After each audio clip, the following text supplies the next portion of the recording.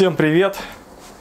Короче, пришла ко мне наконец моя крышечка для байонета РФ, из которой я сделал еще один пинхол. У меня уже один был под байонет ЕФ и сделал под байонет РФ. Кто-то скажет, вот же задрот, а?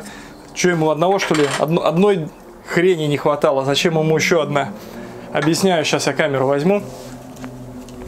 А, вот камера, соответственно, РПиха, да? А чтобы подцепить сюда что-то ефное, надо использовать переходник. Ну, скажу, да, чувак, капитан очевидности, ты совершенно прав. Поскольку переходник у нас выносит наш пинхол от матрицы на какое-то расстояние, соответственно, у нас схлапывается угол. То есть вот этот вот старенький удаленький пинхольчик мой, он работал с углом ну, примерно 50 градусов, а может даже и того уже. Что, собственно говоря, речь о какой-то серьезной съемке городской, там где э, архитектура какая-то там вверх устремляющиеся дома, широта улиц, блядь, я снимаю сейчас на кроп, поэтому у меня даже руки раскинуть, сука, не могу, вот, то нифига подобного вот с такой вот конструкцией не получается. А хочется-то на пинхоле как раз объять необъятное и впихуть невпихуемое, потому что у пинхола прекрасная геометрия, у пинхола нету дисторсии абсолютно. То есть там все прямые, это, блядь, прям прямые, никаких коромысел, подушек там и всего прочего. Вот, поэтому я заказал эту крышечку, чтобы провернуть вот такой вот финт ушами. То есть снять этот сраный переходник. Переходник. Сука. Вот. И напрямую одеть крышку. В этот раз у меня, кстати, пинхол получился даже чутка порезче, чем был. Ну, там буквально может быть ненько. Вот, а, маленько-прималенько.